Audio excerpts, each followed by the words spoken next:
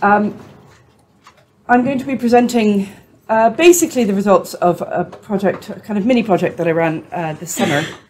Um, I must say at the beginning, this has been a real learning curve for me. It's something I squeeze in between my work. My, background, I am uh, I'm not a field archaeologist, I'm a classical archaeologist. I know those things are not actually divorced from one another.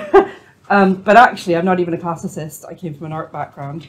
Um, uh, and I'm not a statistician. you, you, will come to understand this.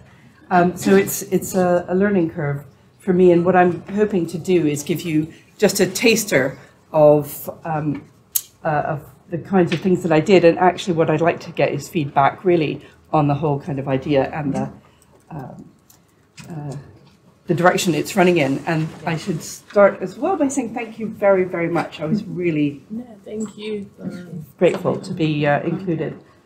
So, um, the context of what I'm talking about uh, is that uh, a friend of mine runs a series, uh, a lecture series in Bermuda, which is where I'm from. Um, and he said to me, what, what, do you want to talk about? And uh, the first time he proposed it, I said, I'll talk about my own research. And this time I thought, aha, now maybe this is a good context for me to actually talk about something that I've been thinking about for a long time. Why is archaeology so white? Why are there no black archaeologists in my department? I'm in Durham, so um, that's a whole other kettle of fish. But you know, there's there's really, as we know, not very many black archaeologists um, in our department. Um, so I proposed this to him. He said to me, "So what's the literature like on this?" I was like, "I don't know. I'll tell you later. I'll, I'll find out." before I get there. Uh, ThinkFest uh, has um, it, it, it's very race oriented, uh, and so it's likely to attract a diverse crowd. Uh, and so that was a, a, good excuse for me to go and talk about that and to find out what the audience thought. And I thought at the same time, what I'll do is run a survey, um, which was another whole learning curve. And um, just to give you the background, you probably know all of this uh, the Profiling the Profession uh, survey, the last one that was run in 2013, published then, um, found that this was the discrepancy between um, the population. I say that's faulty. It's, it's, it's about right, but the numbers actually didn't add up to 100 um, percent.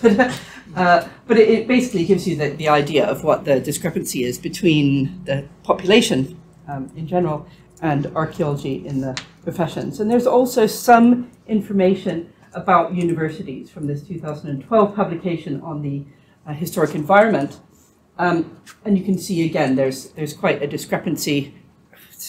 I probably don't even need to show you this. This is uh, undergraduate students, um, and this is uh, applications and acceptances. And uh, my friend Io was um, smart enough to point out to me that actually the, the greatest discrepancy here is between the acceptances and the applications. People are applying, but they're not actually getting accepted. What this doesn't show, however, is what the offers were. So we just don't know what the um, really what's happening there. Um, people asked me when I presented this uh, in the summer, and I said, from my experience, it's got to be that the, you cannot uh, account for the grades. You know, if, if somebody doesn't have uh, the grades to get in, there's only so much that admissions will let you do. But I uh, just I don't know what the, the problem there is. So apart from that admissions problem and um, being accepted onto courses, what else is the issue here? Why uh, is archaeology so white? So I did a, a brief or uh, as much of a literature review as I could at the time um, and looked into explanations that are in the, the literature. So this is a report by Maria Franklin in 1997, um, and she points out about four main causes for the underrepresentation of black archaeologists in the US at that time. Um, it's not got great economic prospects, I think we can all agree with that. um, it's public perception um, as a study of the exoticized other, rather like anthropology, uh, lack of awareness of archaeology as a powerful tool for uncovering black history, so lack of awareness uh, and a corresponding uh, lack of communication by archaeologists um, uh, about the power of archaeology. Um, the barriers to participation in the historic environment uh, workforce also noted uh, some other things which I thought were really interesting. So school exposure, we know that school exposure to archaeology is not great. I mean, where does it come into the curricula uh, now? We don't even have an A level. Um, media perception, again, it's a white middle class pursuit, or it seems to be. And their assumption about uh, knowledge and skills, so it's, it's seen, seen as purely academic. My experience, it's seen not as purely academic, it's seen as something that you do if you want to dig holes. Um, employment prospects, again, and uh, parental expectations, which feed in to all the rest of that. Um, so this media perception, is going to be no surprise to anyone, is a big problem. Um, I'm not going to go to Indy. I'm going to go to Leonard here. Um, and it's not to use him as a straw man and knock him down, uh, but this kind of quote, I can, you know, we can all see where he's getting at, but, uh, you know, it's it's not all jolly japes for some people. Um, so that kind of persona is embedded in the view of archaeology. And in my experience, people are very well aware of this uh, in Bermuda as well. In the run up to uh, the talk, um, most of you will probably know that this is a story of Twitter. I mean, a lot of this sort of conversation is happening in social media, um, of course, publications, but it's very fluid uh, in social media. And this uh, um, chap, Harold, uh, had posted a couple days before I talked, and I was really fascinated by the things that he was talking about, um, which really uh, started to touch on the sort of things that I was interested in, but it went in a slightly different direction as well, um, because he started to ask things about what we are expecting of people when we ask them to participate. If we say that people are um, we talk about engagement, then we talk about the unengaged, um, and we actually don't really care what engages them. We just care about the fact that they're unengaged with what we think is should be high on a, uh, an agenda, a cultural agenda. Um, right. So, to ask people, uh, this was the, the, the thing that I really wanted to do. How am I going to do this? So, learning curve number one: learn how to um, mount a survey, learn what uh, survey to use, uh, survey software, and learn what questions to try and ask, which is still uh, a learning process. And the methodology was an online survey only. Um, uh, it was mounted on a JISC um, online surveys platform. It had several stages of peer review with uh, colleagues, friends, and, and, family as well, and it ran um, from September through to November. So it's really only just recently closed, and it was advertised to the public through news reports uh, surrounding the talk that I gave in September, and then recently before it closed down, which about maybe 20 more respondents. So uh, if you want to see a copy of the survey, I made a copy of it at this address, and it'll be open until 20th of December, so you can go through. What I did is, is made the questions not mandatory so that you could just kind of browse through it instead of having to tick all of them before you could go on to the next page. I was going to show you through uh, this, but I don't have time. So, so online reactions surrounding the survey um, fell into two kind of polarized camps. And again, this is probably no surprise to anyone. The first is uh, the, those that said, everything is about, why does everything have to be about race? Why are you making everything about race? And um, one person even called it a preposterous and offensive proposal that archaeology is even white at all. Um, there were also those who were equally offended um, uh, because they already saw archaeology as a white fashioned discipline that basically um, involved grave robbing and that was a bit of a surprise to me. So that was particularly enlightening. Um, I thought people might find it boring. I didn't, you know, I didn't really, I guess, know what people would come back with. But I didn't expect to be attacked as a as a grave robber.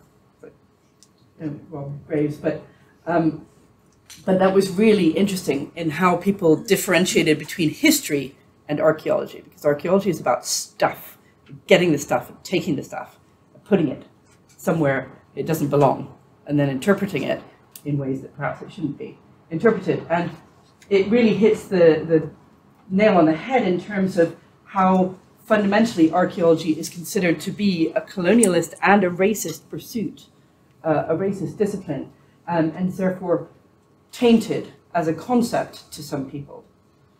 And you know, the question is: Is that irreparably so? Can that be changed at all? So, who answered this survey? There were only 115 responses out of an island of about 65,000, but that includes children, so uh, let's say about 55,000. So it's only about 0.002 of the population, but it's not too bad. Um, this is the uh, 2016 Bermuda census, um, and you can see that there's a disparity in the proportions of white people who responded to the survey. So there's a bias there. Interestingly, I don't know how many of you know this, but in Bermuda there are three races, and one of them is Portuguese. So people self-identified as other Portuguese, um, or even Portuguese, uh, an African or Arab African. And my favorite, I'm not sure that I am white.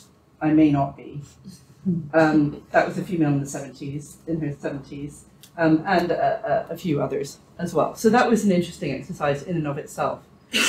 Apparently, online surveys have a gender bias. Women are more inclined to take online surveys, and this is upheld by the results of this survey, which has um, about a third uh, of men and two thirds women. Age participation was roughly equal to the balance of the, the census. You can see uh, that there, are slightly fewer um, of the 15 to 29 year old category. And all kinds of ages took part from 18 to 81. You can see a spike around my birth date here around 1970, which probably means a lot of my friends took the survey to be upfront about biases. And yeah, so you can see again this sort of spike in the 45 to 64 age group. I used that age group because that's the age group that was published with the census. So I wanted to try and use some categories that might be matchable with other um, survey evidence. Um, and you can see that out of that group, the highest number is women, so female, um, and the highest number is are white here. And unsurprisingly, lots of white women took the survey. So that's the, the largest uh, spike there. Um, we could go on and uh, dig into that graph. I also asked a bit about class because I thought, uh, you know, I may be able to uh, make some um, analyses on that. I haven't been able to really do anything yet, but it's not that surprising that most people identify as what they call the fast disappearing middle class at Bermuda, which is obviously never going to really disappear because most people identify as middle class and they're going to continue uh, to do so. But there were some people who identified as, as working class, and nobody's going to identify as aristocracy there. Um, the uh, the number of employment sectors was interesting to see because people from, for instance, hotels and, and transport and communications uh, took part in the survey. Again, I used the categories from the census, and this was a bit of a problem because they're really vague and kind of they're not very helpful, not very interesting for people to talk about. And qualifications, there's a real bias towards people um, who have a degree or above taking this kind of survey, turns out. Um, that's probably not very unexpected either. So um, moving on to impressions of archaeology. Now, once I had come up with some questions for people to do um, and uh, sat down the other day to try and start analyzing this stuff, I thought, where am I going to start? I don't even know where to start. What am I going to correlate with, with these, you know, so a learning curve again. So I started with a question that I'd asked on what is your impression of archaeology? Is it boring? Is it interesting? Gratifyingly, most people said that it was interesting. Um, some people said that it was okay. Um, some people didn't care, and a couple of people found it boring or not interesting. Um, if we uh, cross-reference that with uh, ethnic identity, and this is self-identification uh, in the survey, um, then we can see that uh, there's a there's a good proportion of groups that do find it interesting, um, and uh, just as many white people proportionally find it, you know, sort of not really that interesting. But the people who didn't find it interesting um, did fall into black or other. And these are, I must say, clunky categories that I put together just for the purposes of trying to create the, the graphics here. So usually I would try and make it a little bit more refined than just white, black, and other. But um, that's just for the purposes of, of trying to get the presentation together. So the person who said it was boring, uh, identified as white and other, was a male of 65 and had a bachelor degree. Um, he was self-employed, uh, identified as lower middle class, and working in uh, real estate sector. He thought archaeology was always looking to the past and not to the future. Um, he agreed that history matters to me, but didn't know if archaeology uh, taught him about his history. He first heard about archaeology at college age, let's see, okay, um, around college age. And uh, he's heard about archaeology through mostly television, museums, internet, magazines and newspapers and those sort of things, not school, that's important here. So this is the kind of stuff that you can kind of um, drill down into to try and get uh, some idea of what the participants are like and what they, um, how they first heard about archaeology. He doesn't relate to anybody who um, does archaeology, but he doesn't actually know any archaeologists personally. And this what I found was interesting. He's not interested in participating in archaeology, except maybe in public engagement and education. Now, why that kind of stood out might be um, an interesting thing to find out more about. Um, and you can see some of the other things here. I'll, I'll just move ahead. Um, I had a couple of Likert scale questions. Um, so I feel confident in my understanding of what archaeologists try and find out about, out about uh, strongly agree to strongly disagree. Um, interestingly, here, there is, I mean, you can't really see a great pattern simply because of the number of people in different groups that took the survey but there's a greater proportionality of, of white people who feel strongly confident in what they think archaeologists get up to. And by gender, interestingly, more men, I could resist doing the, the by gender, um, more men feel that they're strongly confident in what archaeologists do. It does spike up, obviously, in, in the simply agree, but strongly agree, yes. Even though there are um, far fewer men that took the survey. And archaeology teaches me about my history. Um, note that uh, the white people who took the survey, these are people that identified only as white and Caucasian, not as um, any other um, uh, other mix of, of race or ethnic group. You know, really felt quite strongly that archaeology obviously taught them about their history, and actually some of the responses indicated that they didn't differentiate between their history and history in general. I think that's quite telling. The people who disagreed fell into three main types, depending on the interpretation of the question. So um, first there was the exclusion of black history, because it speaks mainly to the history of white people, or I can't name any sites in Africa that have been um, studied, even though my ancestors came from there. Or people who are arguing with the semantics. So, for instance, it's not my history, it's world history. Fine.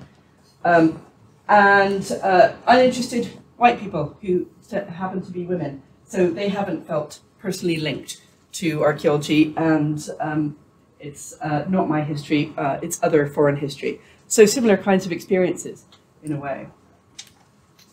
Um, and in response to a long list of sub-disciplines in archaeology, because I thought it would be interesting to know what people would be interested in, of people who identified as black or of African descent, 67% said they would be interested in studying the archaeology of the African diaspora or the archaeology of slavery.